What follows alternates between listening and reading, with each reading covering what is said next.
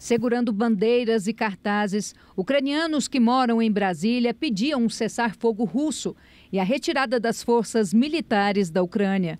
Apesar da Rússia ser uma superpotência mundial, este economista ucraniano disse que o país vai resistir, principalmente por causa do apoio de outros países do mundo, inclusive do Brasil. Eu, como ucraniano, sou grato a, a, a qualquer tipo de apoio né, que, que outros países estão fornecendo para o nosso país.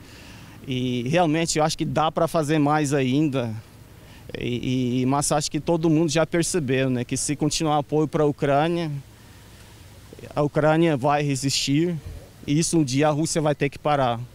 Durante uma entrevista para a imprensa, o encarregado de negócios da Embaixada da Ucrânia comemorou o voto do Brasil contra a Rússia durante a reunião emergencial da Organização das Nações Unidas. Anatoly Tikak também pediu ao governo brasileiro que corte relações comerciais com a Rússia ou que pelo menos empresas brasileiras deixem de oferecer serviços ao país. E nós gostaríamos uh, um, uma maior pressão sobre a Rússia.